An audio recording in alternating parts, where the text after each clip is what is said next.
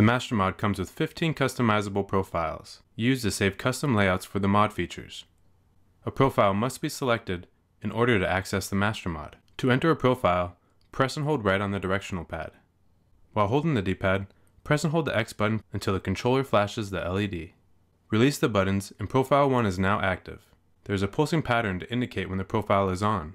Since we can assign different mod features to any profile, we made it so you can quickly turn the profiles on and off. To temporarily disable the profile, we will perform a similar button combination as before. To turn the profile off, press and hold right on the directional pad. While holding the D-pad, press and hold the Y button for 2 seconds until the controller flashes the LED. Release the buttons and the LED will no longer pulse, indicating no features are active. To turn the profile on, perform the same button combination and the LED will flash in a heartbeat pattern, indicating the master mod is now active. There are also 15 profiles that can be used to save any mod layout. To access your profiles, press and hold right on the D-pad.